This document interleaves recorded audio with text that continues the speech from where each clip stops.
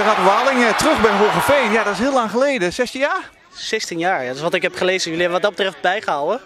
Maar het is, het is eh, wat ik net ook tegen jou zei hier eventjes, het is, het is thuiskomen. En eh mooie club en om dan gewoon weer wat terug te doen. Vooral voor de jeugd is gewoon echt super met al je ervaring wat je hebt gehad natuurlijk. En het plezier ook al die jaren. Dus ja, zeker eh, hartstikke leuk om weer terug te zijn. Ja, even voor de duidelijkheid, je wordt trainer van de Ik word trainer eh, van de 1 samen met eh, Gerald Beemins, niet te vergeten. En Klaas Kroesen. eh en onze vlagger. Dus eh, ik denk dat we een mooi team als, als begeleiding zullen hebben. Om de jongens toch wat meer extra's te geven. Vooral de hoofdklasse, hè, wat we volgend jaar gaan spelen, is toch wel pittig, lijkt me. Maar ik denk met het team wat we nu hebben geselecteerd, is het echt de moeite waard. Echt leuk team. Ja. Een aantal vragen komen bij mij op. Eh, op het moment dat ik eh, dit naar de, in de buitenwereld bracht, dat je terugkwam bij Hogeveen. Ik keek naar de Facebook-teller. Eh 7000 keer werd een bericht bekeken over jou. En dan denk je 16 jaar weg. Men is jou niet vergeten. Ja, klaarblijkelijk. Ik, wil, ik, ik heb zelf geen Facebook. Ik werk in de ICT, maar heb zelf geen Facebook. En, en als ik het zo van je hoor, ja, de- de- onbegrijpelijk. Ik, eh, ja, de- je weet, ik weet niet, je kent me natuurlijk al wel van vroeger. Ehm, eh, ik ben wel een prater, maar niet dusdanig op volgrond. En als je dit, dit zo hoort, 7000, ja, dat, dat denk je ook van ja, waar ligt het dan aan? Wat is dat dan precies? Ja. Andere vraag die je vaak gehoord hebt, denk ik, is van... Hé, hey, je woont in Apeldoorn. Ja, uiteraard. Maar ja, dat is, weet je, eh, ik kan het doen. En eh, het, is, het is een sport waar ik eh, ontzettend veel plezier bij heb. En, en naast je drukke baan is het gewoon heerlijk om gewoon met de jeugd bezig te gaan. En ja, Hogeveen, wat is het? drie kwartier, vijftig minuten rijden. Voor mij is geen probleem. Dus, ik, ik, ja, dus die, die stap heb ik wel snel kunnen maken. Het is, het is met name ook Hoogveen dat het hem doet. En Hendry die natuurlijk had gevraagd. via Bart van der Gouw overigens. Ja. Kijken we even rond, nu op, deze, op de open dag eh, v- vandaag waar we staan. Eh, ja, je zei net het voorgesprek al even. Jij bent ook wel een beetje verbaasd eh, hoe groei de jeugdafdeling van Hogeveen heeft doorgemaakt. Ja, zeker. Zeker als je dan kijkt ook met eh, de jaren terug.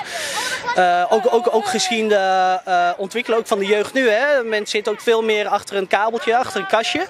Ehm, eh, en, en dat je dan toch weer die, die jeugd kunt, kan trekken om ze hier naartoe te bewegen. En gewoon weer een mooie, leuke club van te maken. Veel leden, dat zegt toch al genoeg over hoe je als club zijnde bezig bent met je beleid, met je opleiding. En dat vind ik wel mooi om te zien. En dat heeft mij ook doen, eh, ertoe doen zetten om hier naartoe te gaan. Om te, je ziet gewoon mooie ontwikkelingen.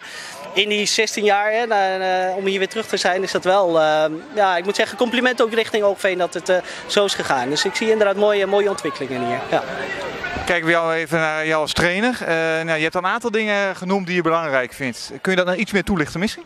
Je bedoelt eh, plezier en eh, maar daarnaast naast plezier, ja, weet je, als we zonder plezier naar je hobby gaan, want het is, voor de kinderen is het een hobby. Uiteindelijk is het een sport waar ze dan eh, verder naartoe willen gaan. Vind ik plezier, maar daarnaast ook ehm, eh, een stukje discipline, mentaliteit. Dat, dat binnen, de, binnen de grenzen van het veld, van voetbal, om dat mee te geven, om ze ook een beetje te laten proeven wat je zelf hebt geproefd destijds met het eerste hier, maar ook betaalvoetbal. Wat dat kan betekenen voor je, ook voor later. Uh, maar met name plezier en, en als team. Als één, uh, uh, je bent een individu, maar als team fungeren. Ik, dat, dat, dat vind ik toch wel iets wat je, als je die kinderen dat bij kan brengen, is dat gewoon mooi. En uiteraard voetbalaspect, techniek. ik heb ook gehoord van Eddie, hè, de trainerscursus, dat je niet mag koppen tot aan je 16. Nou, daar was ik gewoon echt verbaasd over. Dus ik begon dan met mijn training met koptechniek. Techniek vind ik natuurlijk ook wel, hè, moet je beheersen, balgevoel, baltechniek. Dus ik was inderdaad wel uh, verbaasd erover. Dus daar is plezieer, mentaliteit, discipline en inderdaad ook uh, uh, als één geheel, als team daar staan en zo'n wedstrijd spelen. Super. Ja. Je noemde al even betaald voetbal. Ja, in de vorige eeuw heb jij ook betaald voetbal gespeeld. bij Emmen was dat. natuurlijk heb je daar denk ik ook wat van meegenomen, maar er is ook heel veel veranderd, want er wordt gewoon veel veel andere dingen worden verwacht, denk ik. En de mentaliteit is misschien wel veranderd. Er komt op de jeugd ook veel meer af. Zeker, zeker. Uh, vooral pedagogisch uh, gezien hè, komt er veel meer. Begeleiding is nu ook veel beter, wat ik heb uh, begrepen. Um, vroeger was je meer op jezelf gesteld. En dan was je, um, of je redt het wel of je redt het niet, ook mentaal gezien. Maar nu heb je veel meer begeleiding. Ook ook vanuit de club, begreep ik ook.